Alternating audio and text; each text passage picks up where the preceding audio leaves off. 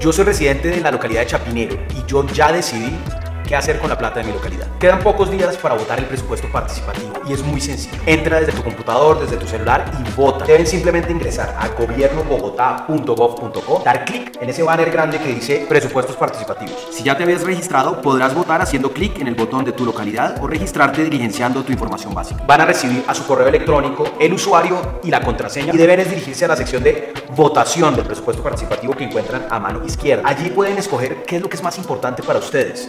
Es más importante que se siembre árboles en su localidad, que se proteja y se cuide a los animales, el mejoramiento de vías, que hagamos un esfuerzo importante por generar oportunidades de empleo en su localidad, de reactivación económica ahora que está tan difícil la situación. Si vives en una localidad rural, como es Sumapaz o Usme, o algunas zonas rurales de otras localidades, podrás también escoger proyectos específicos para la ruralidad. No tienen que escoger una sola cosa, pueden escoger siete prioridades para ustedes en su localidad con su plan.